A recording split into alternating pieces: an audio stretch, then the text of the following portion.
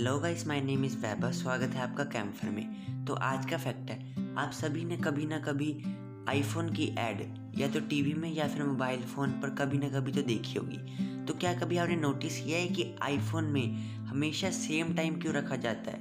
वो टाइम है nine forty one ये टाइम हमेशा सेम ही क्यों रखा जाता है? डोंट वरी इसका आंसर मेरे पास है। एप्पल के सीईओ और फाउंडर स्टीव जॉब्स ने सबसे पहले आईफोन की लॉन्चिंग अनाउंसमेंट इसी टाइम पर की थी। 941 पर उन्होंने लॉन्चिंग अनाउंसमेंट की थी और तभी से ये टाइम सेम ही रखा जा रहा है। ये फैक्ट जानकर आपको कैसा लगा? Answer in comment section and if you like the video and sure to hit the subscribe like and share button thank you